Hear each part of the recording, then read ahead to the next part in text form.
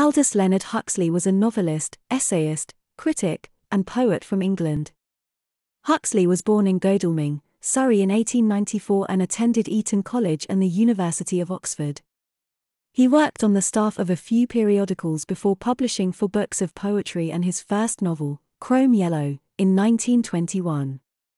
He was best known for his novels such as Brave New World and non-fiction works such as The Doors of Perception, a book about his experiences with psychedelic drugs. Huxley spent most of the 1920s in Italy and France before moving to America in 1937.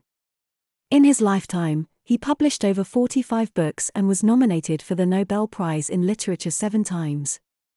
Huxley was a humanist who wrote many works on pacifism, including Ends and Means, an encyclopedia of pacifism, and Pacifism and Philosophy.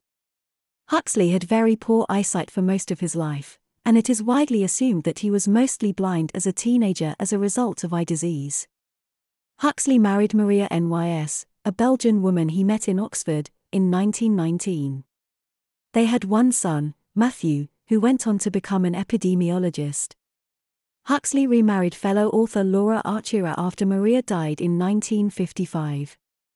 Laura wrote the best selling biography of Aldous Huxley, this timeless moment. Huxley died three years later at the age of 69 after being diagnosed with laryngeal cancer in 1960. Unfortunately, his death was overshadowed significantly by the assassination of U.S. President John F. Kennedy on the same day.